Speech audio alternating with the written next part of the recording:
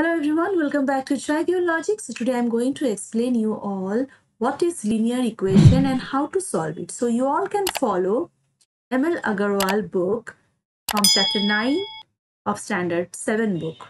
Okay, clear? So let's start with sum number 1. That is 2 into 3 minus 2x equals to 13. I will do in my next step. This is an implies sign. So can I write down 3 minus 2x equals to 13 divided by 2 which implies I will keep the variable this side and I will take minus 3 to the other side. So plus 3 will become minus 3. Now just you need to do the LCM part. So LCM is 2. So 13 minus, if you think here it is 1, so 2 into 3 that is 6. Which implies minus 2x equals to 7 by 2 which implies minus x equals to you can bring the 2 down so it will become 7 by 2 into 2 4 and directly x equal to you can write down minus 7 by 4 so that's your answer. So i hope you have understood the sum. If you have not understood you just go through once again.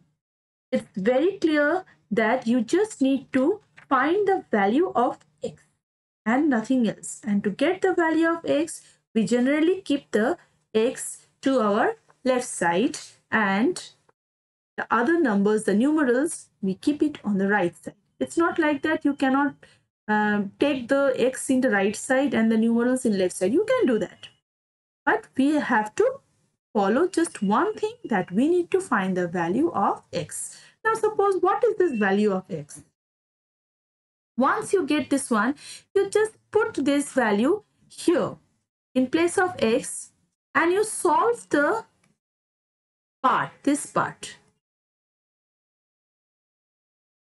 When you solve this part, you will see you will get the answer as 13. So let's do and check once that whether it is correct or not.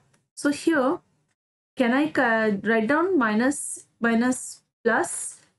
So 2 and this one will be cut. So it will be 7 by 2 so here if you do LCM so 2 into 3 6 plus 7 by 2 these two cancel.